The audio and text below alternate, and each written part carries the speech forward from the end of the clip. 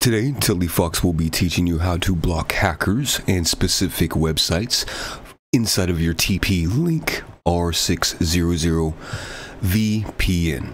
So let's begin. Okay, so once we log into the router, we want to go to network. And actually, it's under preferences. We click on preferences IP group. Over here, as you can see, I created a few groups named hackers followed by a specific number. This is because I needed to block hackers. So to block a specific hacker from accessing your service, what you do is go to add, you give a new name and a new description. So for this case, let's go to IP mask, right? And let's see, where is the description? Here we go, the IP mask. So what you would do if you wanted to block or create a new group and you wanted to block that website, you would type up the IP mask. So let's just say, for example, 7070 20 could be one. And then you would give it a name and click OK. Or you could give it a range. So say if you want to block a certain range of hackers or computers, you would just give the specification a range. So let's do 255. And then you would give it a name and press OK. This would be a IP group that you could apply to firewall settings. So once you have that created, you would review your settings. So as you can see, we have hackers one, we're blocking this group of IP addresses, this IP net mask, and this range of IP addresses. And these are all hackers that were trying to get into my VPN, trying to access the VPN network and hack the VPN network. So they were scanning. So unfortunately, I had to block these computers and hackers from getting into my network. So next we go over to IP group. Uh, we go ahead and create a new IP group. You generally give it a name, the same name that you gave your IP address, and then you apply the IP address name. So as you can see, we have Hackers 1, that was the first group we created, and then we applied IP group Hackers 1 right here. So that's how you create your first IP group to start initially blocking hackers. Okay, so to block the hackers now, we just click on add, and we create a new group name inside of the firewall access control. We block all, that's the policy. Services, we select all. And then the interface, we do any IP group. We block, and we block the service type and the interface along with the effective time. So this would be any, this would be any, and this would be the actual hackers. So they will be the source and then you click OK and that's how to block hackers so as you can see I have all these hackers blocked to prevent them from scanning my network or getting into the VPN. Okay, so we are revisiting the bandwidth control. We did activate it and put it to 77. So when bandwidth reaches 77 capacity, uh, it will notify me and start giving me alerts and letting me know what's going on. Then from here you could create a bandwidth rule so let's go and uh, add rule one. Direction is LAN WAN all, any group, and it's in individual mode.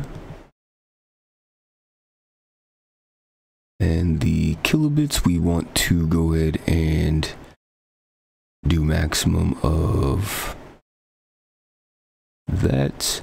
Because we still want them to get a maximum effective anytime. Description optional status. So you go ahead and click on ok and save. And then there you go. You will have also another group that prevents bandwidth control. So uh, you're you're allowed to set certain devices to have a certain amount of upstream and downstream Session limit we have enabled. So as you can see, we have session limit, max session of 10,000. It's enabled. And then if you go over to session monitor, you can see the IP addresses and the max sessions for each IP address. So as you can see, some of these devices get three sessions, seven, six. If you have a bunch of internet connections open, you'll probably get somewhere around like 100 or maybe like 50. So just take note of that. This is a way to shut down your network if more connections are permitted. This is good for limiting, uh, say, a specific hack, or it helps you figure out how many sessions a specific computer has, and then you could diagnose and say, okay, this computer needs to be taken off the network or configured in a way that's not reaching more than its maximum sessions. So that's good right there. Load balancing we already talked about. That was if you have two internet service providers. Unfortunately, we don't. And then routing. So we could create a black hole here to prevent a specific computer accessing a certain site. So if we pull up a command line here and we do ping that address, yeah, hypothetically, it shouldn't be reachable, as you can see.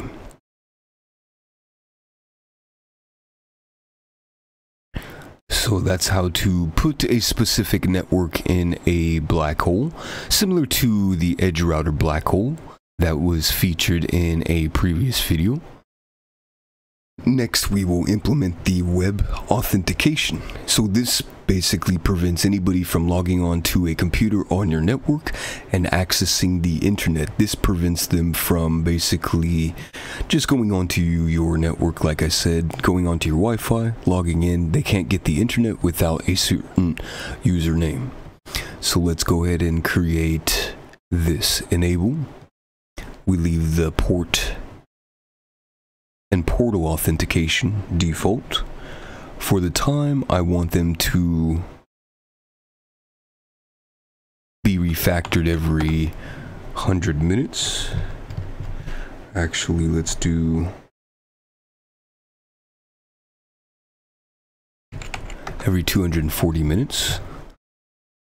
We have a customized page already set uh, we could upload the photograph and I do believe we already have the photograph here. Let's see. Let's go over here. So what I need to do is change the size of this photograph. I will be right back with that photograph. Okay, so now we go over to the upload photograph. We browse to the proper size photograph, click OK, and upload. Okay, and then expiration reminder, let's do three days and once or periodically to intervals of please enter authentication. And then we enable and save Okay, so now we have a secure portal where you would log in, and this is the login page. When you go onto the Wi-Fi, you would see a username and password just to get to the internet, just to get to the network. Same for any hardwired devices, so this improves security. Then we go over here to user management, and we want to create new users. So over here, we go ahead and create a new user we give it a formal user and we do guest. And then from here, we will type in a specific password and then the authentication period along with binding. We want a maximum of five users. Uh, the limit stream we don't want to add and telephone or description we don't have to add. And so let's go ahead and create a nice password for them. Okay, so inside of time settings, what we want to do is assign a specific NTP server. So in previous videos, we had deployed a Ubuntu NTP server. So as you can see, I assigned the appropriate IP address for the appropriate NTP server. So that's 10.0.0.3. And then we just click on save to save any changes. Next, we want to deploy a system log server to capture all the system logs. So the main security logs that you want to take care of are the following. Um, emergency, alert, critical, error, and warning. So if we click on warning and click on save, as you can see, we get all the specific warnings for this device. So uh, this is where I was able to capture a specific hacker from trying to hack into the VPN. So let's go back to click on all levels and then we want to change the server IP to 10.0.0.10. And what we will do is we will bind a system log server to this IP address in the next few slides. So what you want to do is install this SNMP soft system log watcher. This is a free program that allows you to monitor five logs and then a standard license it costs $99 and a pro license $199 the free version is worth it if you have a small network and only have one router to keep track of or if you have about less than five routers switches and devices that you want to keep track of with a system log manager so then from here what you want to do is go ahead and Install the program by scrolling down and selecting one of these links. For me, I have the program already installed, so I don't have to install it again. And then what we want to do is go over to the program.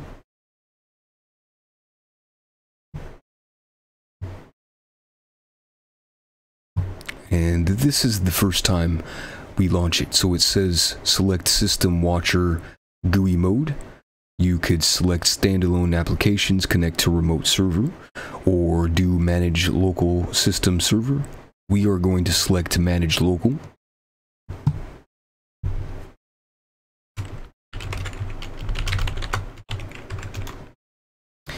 And from here, the program is going to pop up. We want to click on stop server and we want to select settings.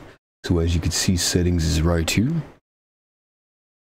We want to click on settings and then we want to locate server and we want to bind a specific IP address of 10.0.0.10 for both of these addresses. Then we click on apply and OK. We keep the default port and we're not using TCP to capture the system log information, so that's fine click OK. And, then we want to change the internet settings for that adapter. So we go into control panel. We click on network and sharing. And then we select the network adapter that's connected to this network. And it's not that one, it's going to be this one. Let's see.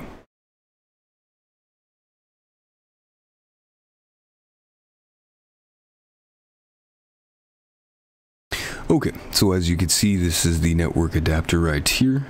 And what we want to do is change the adapter to have default settings.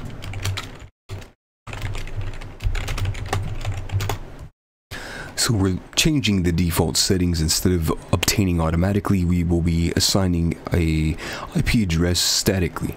So we assign the IP address of 10.0.0.10 Keep the subnet mask same for your network, and then your default gateway, along with your DNS servers. So we just change this to have Google for all of them. Click OK, click OK. And then internet access is not accessed or enabled yet because we have to re-log onto a web page. So we won't do that, but I will show you that in just a moment. Okay, so we click OK, click OK. Now we have the proper IP address of 10.0.0.10. That's good. Go over here. And then now what we want to do is start the server. Okay, then hypothetically, we could try to log in so what I will do is log back in. We will be back in just a moment. Okay, so we're back at the login page. I'm going to use a false and fake username and password to see if I could get the log information from my system log server. So you click on login. And as you can see, the password and the username was not compatible. So let's go ahead and add a couple more characters, just random characters. Okay, as you can see, login failure. So if we scroll over to the system log manager over here. As you can see, there's a warning level and it says 10.0.0.10 failed to log in to the web interface. It had the wrong password. So yeah, the system log is now working. Okay, as you can see, we got the authentication splash page where we have to authenticate just to get internet for this device. So this is good for preventing any kind of unauthorized users from accessing the network like I said. So we type in the username and then the password. And hypothetically, then you should be able to get the internet. So we go ahead and click on save. And as you can see, it's online. You could go offline right here. And then we go over to a web page and let's go ahead and bring up a random web page here.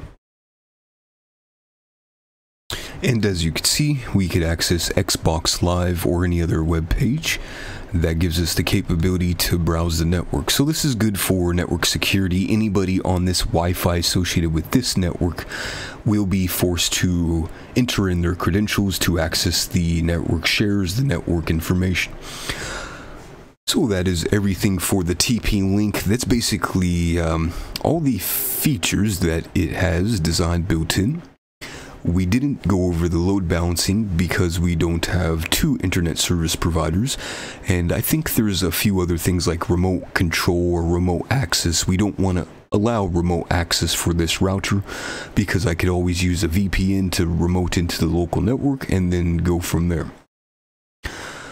So just take note that this is a very powerful router that allows you to secure your network and put certain security policies in place. If you enjoyed this video, please like, and don't hesitate to contact Telifox today for all your consulting needs. You have a good afternoon.